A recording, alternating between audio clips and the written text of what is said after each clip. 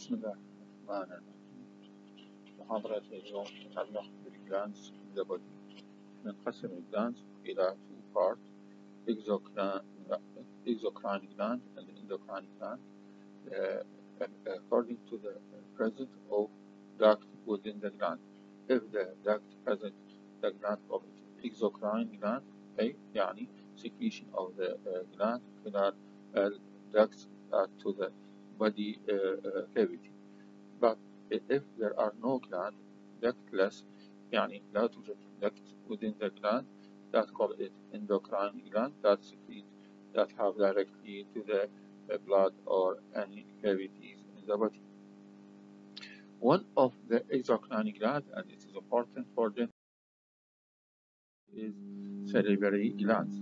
This gland that have uh, the secrete the saliva to the oral cavity and it is the first part of digestive system. This exocrine gland that secretes saliva for oral cavity.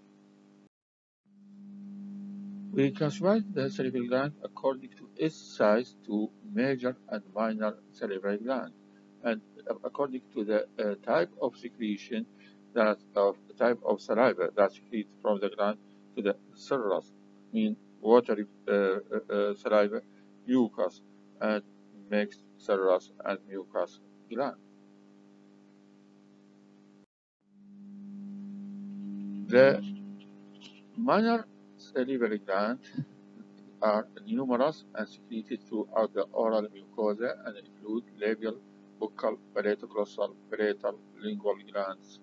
This is the classification of minority gland. حقيقة أين توجد the gland تسمى in the lip labial gland, in the cheek buccal gland, in the palate palatal gland, in the dorsal surface of the tongue called lingual gland, and posterior part of the mouth at the uh, uh parietal and uh, uh, uh tongue called parietal dorsal gland. These glands secrete saliva more or less continuously and moisten and lubricate the oral mucosa membrane and digest the food. حقيقة, function of minor salivary gland is continuous secretion of saliva so the mouth is not be dry and mix the food within the oral cavity to begin the digestion of the food. The second type of the uh, gland according to its size is major salivary glands. There are three pairs of large glands. They open by ducts into the mouth. They don't secrete continuously, but only when the sensory nerve and the oral mucosal membrane are activated by mechanical, chemical, or thermal stimuli, or as a result of psychic, psychic or olfactory stimulation. حقيقة major salivary gland هي three pairs at the side of the face, secrete through ducts to the oral cavity. The secretion not continuously but to attenuate other stimuli. So the nerve into the mucosa when food enter and the mechanical stimulation this nerve end that have lead to stimulate the glands to secrete. Other stimulation than the chemical is the thermal, the heat that or cold that have uh, uh effect on the uh, sensory nerve that need to uh, uh, secrete of salivary gland. The thinking by food, this is psychic uh, uh, stimulation, this lead to secrete saliva. The smelling of any odor that smile by the nose that stimulate the salivary gland to secrete any uh, uh, through the ducts to the oral cavity. The major salivary gland is three pairs. The first one and larger one at the side of the face is parotid gland. It is anterior to the ear, uh, auricles. The second one is below the body of the mandible called its submandibular gland. The third one within the floor of mouth called its sublingual gland. We start with the most larger salivary gland, it is parotid gland. Its secretion is serous, mean watery saliva.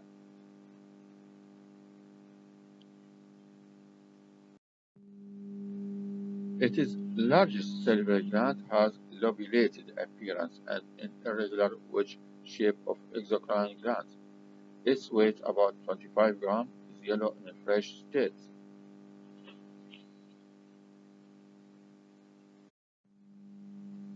The gland covered by a capsule called its parotid sheath. It is uh, surrounded all part of the gland by this capsule, which is an upward prolongation of the deep investing fascia of the neck.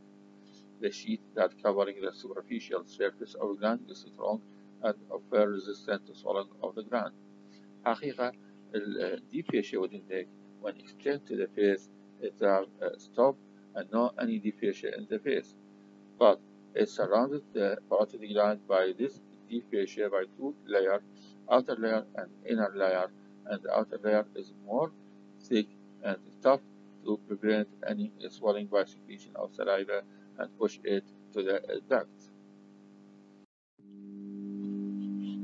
The boundaries of this gland, the stylomandibular ligament is anterior thickening of capsule, which run from the styloid process to angle of the mandible which separate the parotid gland from infratemporal region anteriorly and separate the gland from submandibular salivary gland inferiorly and anteriorly. So this ligament separates the anterior region uh, from the, uh, the gland surface. Its location. It is actually anterior and inferior to ear and occupies the parotid space or call it parotid bud or call it parotid region. The region is roughly triangular in outline and has considerable depth, and its boundaries from anterior, the posterior border of the ramus of the mandible, and the posterior border of the masseter muscle and medial pterygoid muscle. Posteriorly, the anterior aspect of mastoid process and the sternocleidomastoid muscles. Inferiorly, from below, the posterior belly of digastric muscle and stylohyoid muscle medially the styloid process of temporal bone and its attached muscular and ligament within the stylohyoid process. The gland is pyramid in shape and has three surfaces. The superficial surface that it is triangular in outline. The gland extends upward to the zygomatic arch, backward to the external epidermis and anterior border of sternocleidomastoid muscle and forward over the surface of masseter muscle. This is the uh, superficial surface that is uh, covered by the skin. The anterior medial surface is a U-shape and is contact with the posterior surface of the ramus of the mandible and the masseter muscle and medial pterygoid muscle. It is the anterior medial surface. So the superficial surface and at second surface anterior medial surface. The posterior medial surface lie against mastoid process and the sternocleidomastoid muscle and posterior belly of digastric muscle. The deep part of the surface is related to the styloid process with its attached muscles, internal carotid artery, and internal jugular vein. This figure shows a cross-section to posterior medial surface of the gland. The lower part of the gland extends downward into the neck between the angle of the mandible and sternocleidomastoid muscle, and the superior board surface of the gland in contact with the cartilaginous and bony floor of external acoustic meatus. Uh, parotid ducts, or call it Stensen's ducts. The, this duct is approximately 5 cm in length and 3 mm in internal diameter. The duct arises from the most prominent part of the anterior border of the gland. The duct passes forward about one finger width below the zygomatic arch over the lateral surface of masseter muscle on the masseter muscle and then trend round its anterior border to pierce the occipital muscle. It enters the mouth vestibule at the level of upper second molar. As it lies on the masseter muscle, there may be a small accessory part parotid gland situated above the duct and drainage into it. The blood supply of parotid gland. This gland supply the uh, glandular branch from superficial temporal artery, branch from external carotid artery.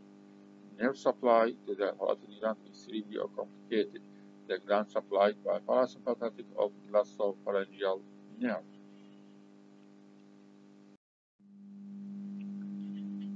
There are many structures inside the substance of the gland. The structure that inside the gland, first, facial nerve and its branching, second, external carotid artery and terminal branch, third, retromandibular vein and its tributaries, and finally the lymph node and through within the substance of the gland. The first and important structure within the parotid gland is the facial nerve, seventh cranial nerve, exit from the stylomastoid foramen and enter the upper part of posterior medial surface. Within the gland, it becomes plexiform and divided within the gland into terminal five branches that appear at the anterior and inferior border. The, these branches call it temporal branch, zygomatic branch, buccal branch, mandibular branch, and cervical branch. The second important structure is the external carotid artery, divided within the gland into two terminal ends. The first and larger one is the maxillary artery, which passes from anterior medial surface superior Uh, anterior border of the gland and pass deep to the neck of the mandibular condyle to enter temporal, temporal region. The second terminal branch is smaller one is the superficial temporal artery that emerge from upper border over the root of zygoma anterior to the external auditory meatus. The retromandibular vein is uh, from anterior and inferior to the ear within the gland by union of superficial temporal and maxillary vein.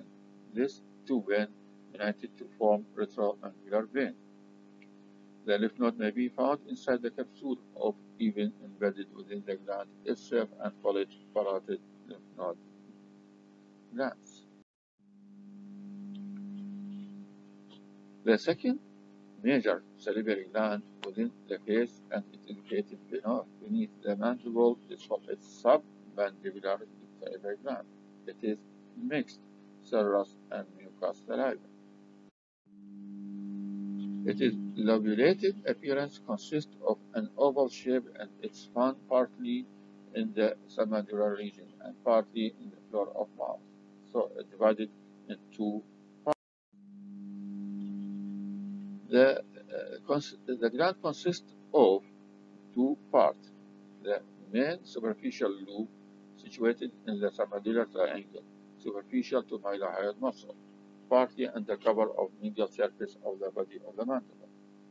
The superficial part of the gland extends as far backward as the lower part of the parotid gland, from which is separated by uh, by sub, uh, backward as the lower part of parotid, from is separated by stylomandibular ligament, which is the thickening of parotid fascia.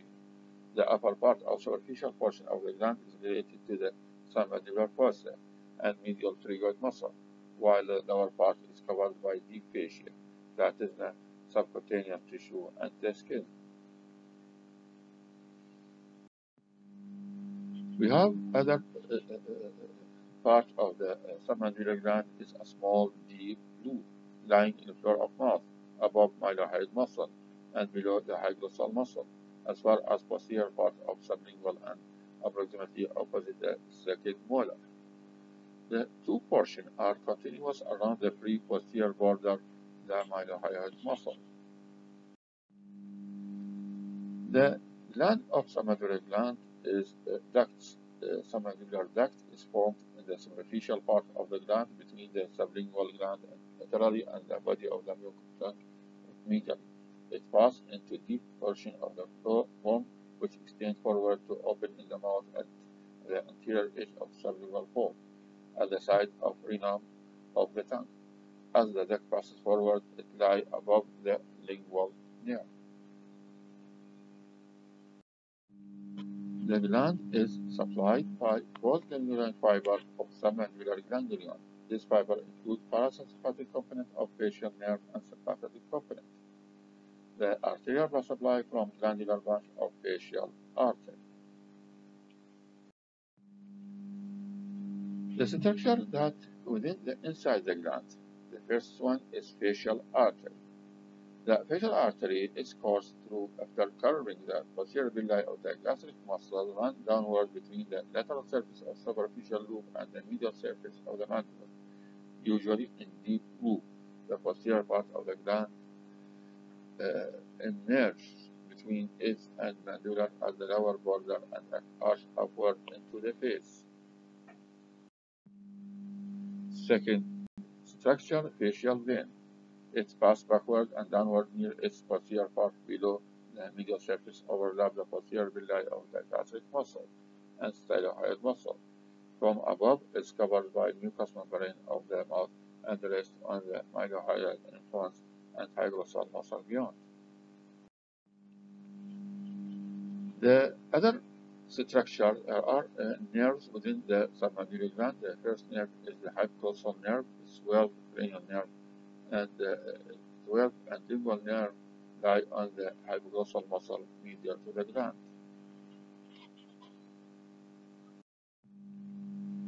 We have some lymph nodes lie superficial to the gland or embedded in it and call it submandibular lymph node gland. The last major salivary gland and smaller one is sublingual. It is mixed but mainly mucus secretion. It is the smallest one situated in the floor of mouth where it produces an elevation, call it sublingual fold, between the tongue and mandible in front of deep loop of submandibular gland, between mylohyoid laterally and genioglossus medially. Below, the gland rests on the mylohyoid muscle. Above is covered by mucous membrane of the mouth. Medially is related to genioglossus muscle. Laterally is sublingual posteriorly deep part of submandibular gland. The lobule of the gland are loosely held together by tissue. The duct, approximately 12 tiny ducts, empty directly upward through the sublingual fold to the oral cavity are of two types. Lesser sublingual from the posterior loop open uh, separately into mouth on the side of the sublingual fold. The anterior part of the gland is more compact and has a duct called greater sublingual that open into submandibular duct.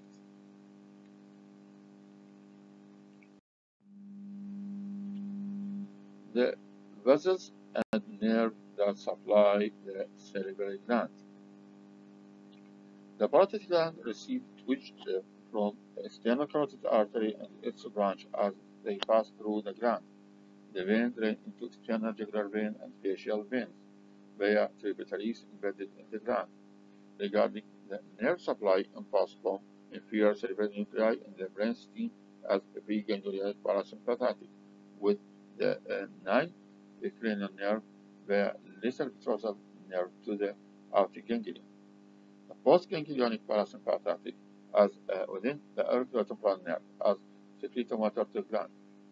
The postganglionic sympathetic from superior cervical sympathetic ganglia to the otic ganglia without synapse via auriculotemporal nerve also.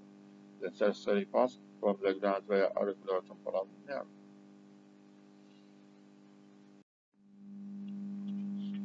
The submandibular gland supplied by branch of facial and lingual artery and drains the corresponding vein. So we have submandibular and facial, uh, facial and lingual vein to drain the venous drainage from the lissy gland.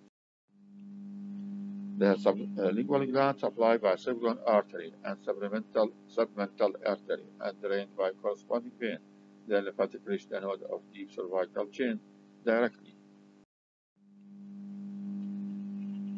The nerve supply of both glands impulse from uh, superior cerebellar nuclei in the brain stem as preganglionic parasympathetic with nervus intermedius of seven uh, uh, nerve, nerve via tympani to the lingual nerve and then to submandibular ganglion.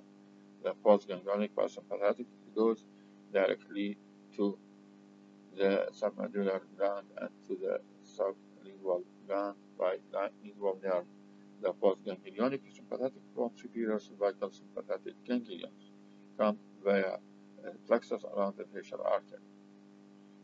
Eh, the sensory passes from the gland via lingual nerve. Thank you for your listening.